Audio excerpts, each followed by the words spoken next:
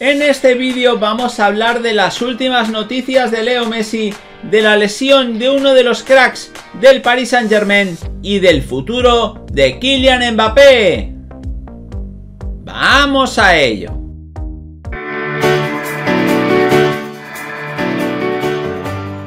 Hola de nuevo gente, ¿cómo estáis? Bienvenidos a un nuevo vídeo de Objetivo Gol. Vamos a analizar la última hora de Leo Messi y de las grandes estrellas del Paris Saint Germain. Por tanto, te animamos a que te quedes hasta el final del vídeo y a que nos dejes un buen like. Vamos sin más dilación a analizar la primera noticia y vamos a ver cómo Leo Messi ha posado con la nueva camiseta del Paris Saint Germain. Aunque nunca ha sido de posar ante las cámaras, Leo Messi es siempre el principal reclamo para publicitar las camisetas de sus clubes.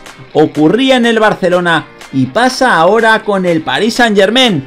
El cuadro parisino enseñó al argentino a través de stories de Instagram en las que el jugador apareció con la nueva camiseta del equipo, caracterizada por su color blanco y una gran franja roja en medio. Además de Leo, también aparecieron futbolistas como Quimpeche, Marquinhos y Di María, atendiendo a ciertos admiradores. Donnarumma salió posando con su equipación. Luego, en un tono desenfadado, Keylor Navas dirigió unas palabras a los medios oficiales del club y Bernat participó en un show lúdico. Y es que aquí podéis ver el tweet de Sports Center en el que aparece Messi posando con la nueva camiseta del Paris Saint Germain. Vamos a seguir hablando del argentino y es que hay mucha curiosidad en las redes sociales sobre un emoticono que aparece siempre al lado del argentino. Muchos jugadores en la historia del fútbol han tenido apodos de animales. El burrito Ortega,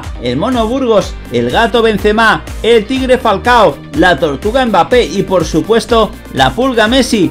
Pequeño escurridizo con una técnica asombrosa, tímido, sigiloso y rápido como una pulga, su familia comenzó a llamarlo así, pero no fue hasta 2005 cuando un periodista argentino lo popularizó y así nació la leyenda. Sin embargo, en redes sociales es habitual ver junto al nombre de Leo Messi el emoji de una cabra. ¿Sabéis por qué? Todo empezó en 2018 con un tuit lanzado por el Barcelona en su cuenta oficial en inglés para celebrar el hat-trick de Messi con el que el Barça amarró el título de campeón de liga en Riazor.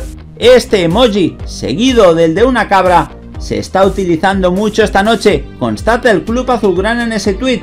Desde entonces es habitual encontrar a este animal vinculado al nombre del astro argentino. Pero ¿cuál es el motivo? La razón hay que encontrarla en la portada, en una entrevista concedida antes del Mundial de Rusia por Leo Messi a la revista americana Paper Magazine.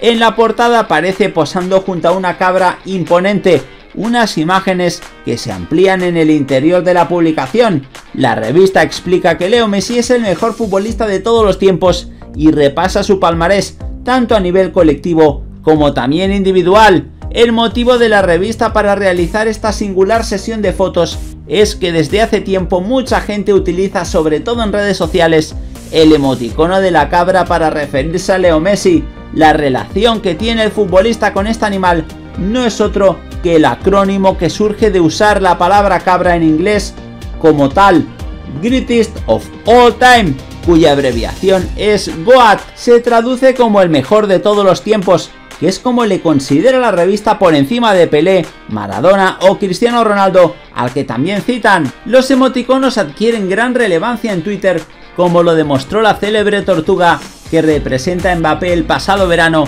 en medio de los rumores sobre su llegada al Real Madrid. Un tuit lanzado por un amigo y compañero de piso de Courtois revolucionó al madridismo. El denominado Manucho en redes, amigo de Courtois, dejaba el siguiente mensaje en su cuenta de Twitter. De verdad, ahora más que nunca podéis estar totalmente tranquilos, junto a un emoji de una tortuga, apodo por el que es conocido a Mbappé, y un monito tapándose la boca como si se le hubiera escapado un secreto importante. El hecho de que el tuit incluyera a la tortuga daba aún más alas a un madridismo que soñaba con la llegada del francés. La mujer de Tony Cross, Jessica, también se encargó de publicar una foto de una tortuga, apodo por el que es conocido Mbappé, y reventó Twitter. Habrá que estar atento a los emojis de cara al próximo mercado de fichajes y es que aquí podéis ver la portada de la revista Paper en la que aparecía Messi con una tortuga. Vamos a hablar ahora de la lesión de Marco Berratti que no va a volver hasta el próximo mes de diciembre. Las malas noticias en forma de lesiones se le acumulan al PSG en el centro del campo. A la ausencia de Paredes, que no volverá hasta después del parón, se le une la de Marco Berratti. El internacional italiano tuvo que ser sustituido en el partido del pasado fin de semana ante el Olympique de Marsella. De hecho, no llegó a salir en la segunda mitad en el velodrome.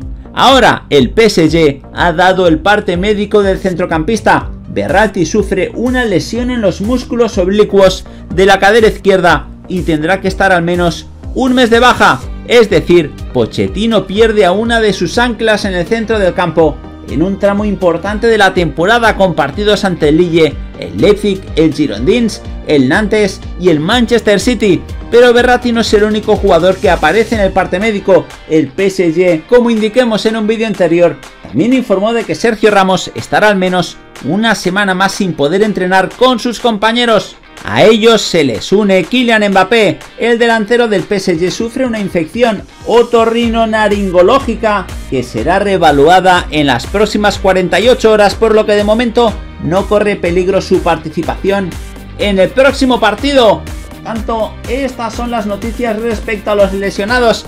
vamos a seguir hablando, chicos, ahora de Mbappé y de su futuro para la próxima temporada. Los rumores no se calman si hablan de Mbappé y de Erling Haaland. Esta temporada decidieron seguir en el PSG y en el Dortmund, pero no está nada garantizado que lo hagan en la próxima, sobre todo en el caso del jugador francés cuyo contrato acabará y en el club parisino siguen haciendo todo lo posible para intentar renovarle al menos otro año más. El Madrid está muy atento tanto a su situación como a la del jugador noruego.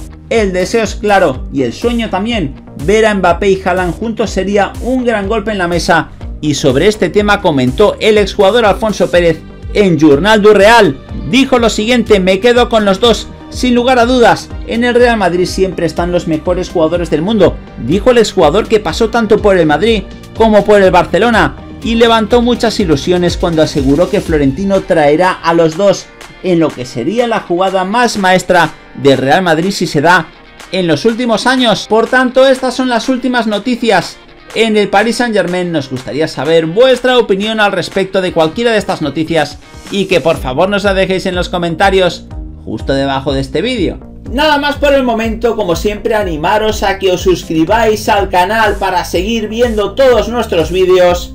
Y aquí os dejamos este vídeo más que interesante para que sigáis disfrutando de todas las noticias del fútbol. ¡Hasta la próxima!